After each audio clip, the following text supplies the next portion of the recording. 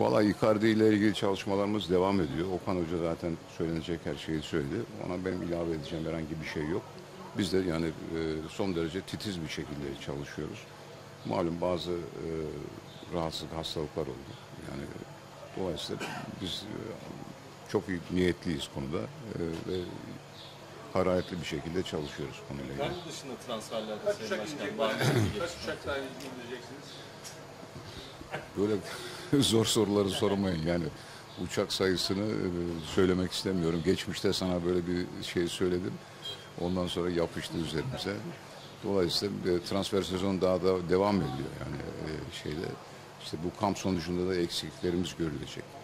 Dolayısıyla bu sezonda yine Galatasaray'a en iyi hizmet edecek takımı kuracağız. Onun için İnan, çalış- inen uçaklar var başkanım. Anheynyo, Halil Dervişoğlu.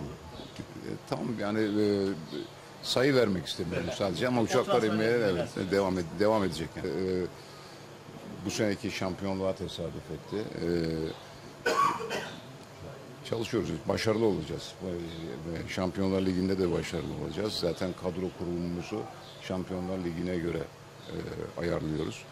E, havalar çok sıcak. Bu sıcaklarda inşallah sakatlık falan da olmaz.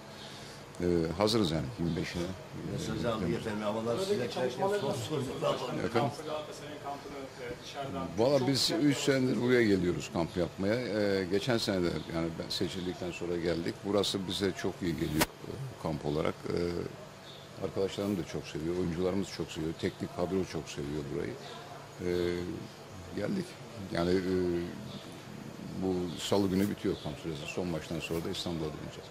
Galatasaray'ı izlemeye devam edin. Bu sene gene şampiyonluğun en büyük adayı Galatasaray.